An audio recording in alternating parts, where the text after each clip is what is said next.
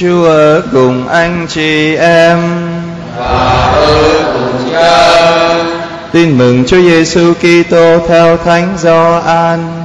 lạy Chúa vinh danh Chúa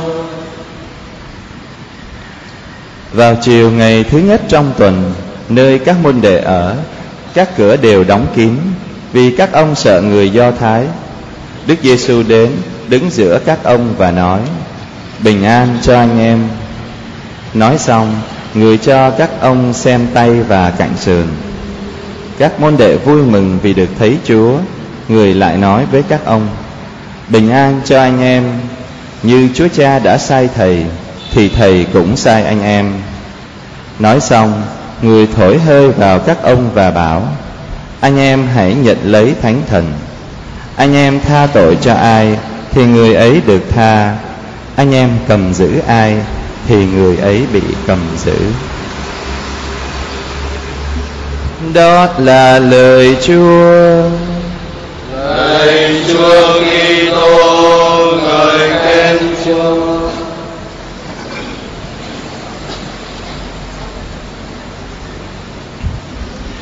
Kính thưa quý ông bà anh chị em thân mến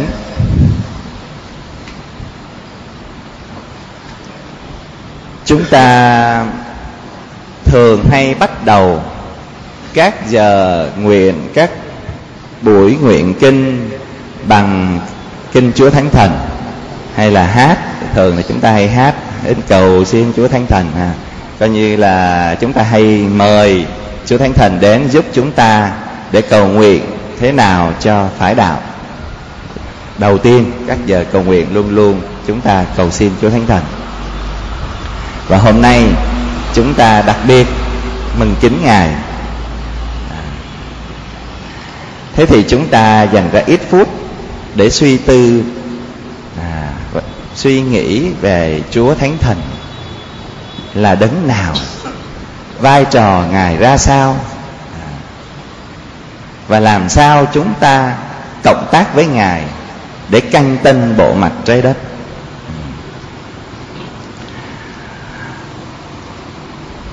Nay tôi chia sẻ với quý ông bà, anh chị em, ba chữ M. Ba chữ, bắt đầu bằng chữ M. Là chữ mới, chữ một và chữ mềm. Chữ mới. Chúng ta thường hay cứ cầu nguyện đến Chúa Thánh Thần là nó xin đổi mới tâm hồn chúng con. Canh tân canh tân là đổi mới mới. Chúng ta vẫn là những con người cũ, nhưng mà chúng ta luôn luôn mong Chúa giúp chúng ta biến đổi đổi mới, thành con người mới. Chúng ta thấy ở ngay bài đọc 1 chúng ta thấy cái mới đó đó ở nơi các tông đồ. Ngài, các ngài vẫn là người bình thường ấy thôi. Rồi sau khi chúa chịu chết ở chúa lên trời nhưng mà vẫn là run sợ lắm, sợ người do thái lắm rồi cứ ở trong nhà đóng kín mít, đóng cửa kín mít à. và rồi khi chúa thánh thần hiện xuống, các ngài đã can đảm bung cửa ra, đi ra ngoài, loan báo tin mừng, nói về thiên chúa, kể cho mọi người nghe những kỳ công của thiên chúa đặc biệt là cái kỳ công lớn nhất là chúa đã làm cho đức giêsu kitô sống lại từ cõi chết à, các ngài đổi mới các ngài can đảm hơn các ngài dám sống hết mình cho chúa vì chúa cho tới cùng à, à mới là chỗ đó à. rồi mới ở chỗ là bây giờ các ngài coi như là có một cái thái độ mới cái tinh thần mới à. ngoài vấn đề lòng can dạ à, coi như là lòng can đảm gan dạ đó thì các ngài nhìn mọi người bằng ánh mắt yêu thương hơn đón nhận hơn à coi như là người ta có thù ghét mình có bách hại mình có giết mình đi chăng nữa thì các ngài vẫn cứ vui vẻ ừ à. mới là ở chỗ đó. À. thì đó có thể chúng ta nói là cái việc đổi mới là cái giống như là chức năng hay là vai trò của Chúa Thánh Thần vậy đó. À. Mà khi chúng ta cộng tác vào thì chúng ta mới có được cái sự đổi mới đó.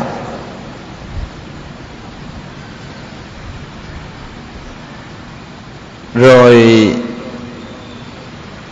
một là thế nào? Một có thể là nói đây là cái mục đích của thánh thần nhắm tới cho công trình cứu độ là làm cho chúng ta nên một. Như Chúa Giêsu trước khi ra đi, ngài cũng cầu nguyện đặc biệt cho ý chỉ hiệp nhất. Anh chị em cứ mở ra Gioan chương 17 là nguyên cái lời nguyện dài của Chúa Giêsu là Chúa cầu nguyện cho sự hiệp nhất của các môn đệ. Và bài đọc 2 chúng ta cũng nghe đến một một một, mấy lần, một lần ở trong ờ, bài đọc 2 chúng ta tuy khác nhau, nhưng mà chúng chỉ có một thánh thần. Chúng ta thuộc về một thân thể. Chỉ có một đức tin và một phép rửa mà thôi. Chúng ta mỗi người là mỗi khác nhau nhưng mà chúng ta được chúa mời gọi là chúng ta yêu thương đoàn kết với nhau. Nên một nên một hiệp nhất không có nghĩa là đồng nhất. Tôi vẫn nói lúc này lúc khác trong các bài giảng. Đôi khi con người chúng ta hay bị vướng cái chỗ này. Đồng nhất khác với hiệp nhất. Đồng nhất là có vẻ là giống nhau hết.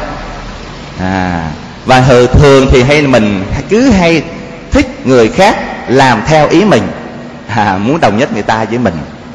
Còn thí dụ họ có khác cái là bắt đầu là khó chịu hay là coi như là bắt đầu có ý tưởng phán xét rồi bắt đầu bới xấu bắt đầu nói. À nhiều khi chuyện cũng không đến nỗi nào nhưng mà bắt đầu là mình bắt đầu mình đi mình bàn ra bàn vô. À đó, là có nghĩa là rõ ràng là chúng ta chưa hiệp nhất chúng ta chưa đón nhận nhau mà công trình của Chúa Thánh Thần là Chúa muốn chúng ta nên một, hiệp nhất với nhau.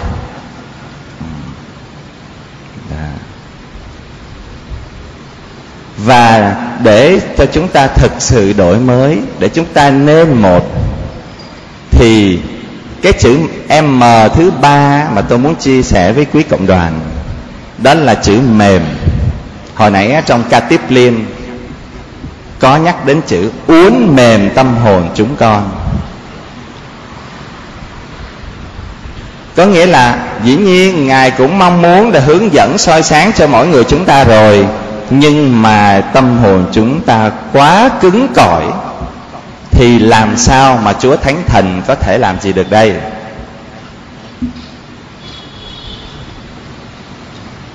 Tôi nhớ hình như đâu đó tôi cũng có chia sẻ ở đây rồi, hay là ở một vài xứ khác.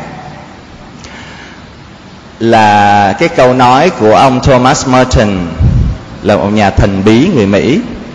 Ông nói trong một cuốn sách của mình, ông nói về thế thế này. Chúa Thánh Thần có một sức mạnh vô địch, Sức mạnh thánh hóa và biến đổi vô địch, Mạnh mẽ vô cùng. Nhưng Ngài phải đầu hàng trước một cái. Ngài phải chịu thua Trước một cái. Cái gì quý ông bà, anh chị em biết không? Đó là ý chí tự do của con người chúng ta. Chúng ta mà sử dụng cái này mà một cách lạm dụng Là chúng ta vô cùng cứng cỏi. Chúa Thần cũng chịu không thấu. Chúa Thần không chịu nổi chúng ta đâu. Tại vì sao? Chúng ta biết vấn đề của chúng ta chứ. Nhưng mà chúng ta muốn thay đổi không là chính chúng ta. Đó. Nên là Nhiều khi chúng ta cứ hay biện minh cho chính mình Chúng ta cứng cỏi. Chúng ta muốn giữ khư khư cái ý định của mình thì chúng ta không thèm nghe ai khác. Đó. Cái chỗ này á, là cái chỗ mà chúng ta cần làm mềm đây nè. Trái tim chúng ta phải để cho mềm ra tâm hồn của chúng của chúng ta phải mềm hơn. Để mà lắng nghe tiếng Chúa, để Chúa còn có cơ hội hướng dẫn và soi sáng cho mỗi người chúng ta. Chứ nếu không thì có hàng trăm, hàng ngàn lễ hiện xuống đi chăng nữa, thì thánh thần cũng không làm gì được cho cuộc đời của mỗi chúng ta vì khi chúa tạo dựng nên mỗi chúng ta, chúa ban cho chúng ta ý chí tự do. Nên việc chúng ta có muốn cộng tác với chúa không là quyền của chúng ta. Chúa không thể điều khiển được chúng ta. Nên chúng ta muốn thực sự có một lễ hiện xuống mới cho giáo hội cho thế giới hôm nay, thì hãy bắt đầu ngay từ bản thân của mình. Hãy bắt đầu ngay từ bản thân mình, gia đình mình, giáo xứ mình. Hãy mở lòng ra hơn đi, quý ông bạn chị em.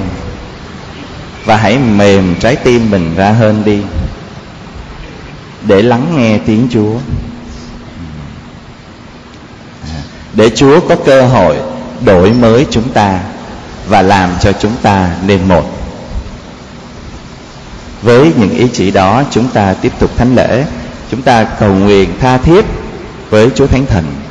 Xin ngài giúp biến đổi trái tim của chúng ta và giúp chúng ta có một trái tim mềm hơn để ngài có thể có cơ hội đổi mới, thánh hóa tâm hồn của mỗi chúng ta và làm cho chúng ta nên một.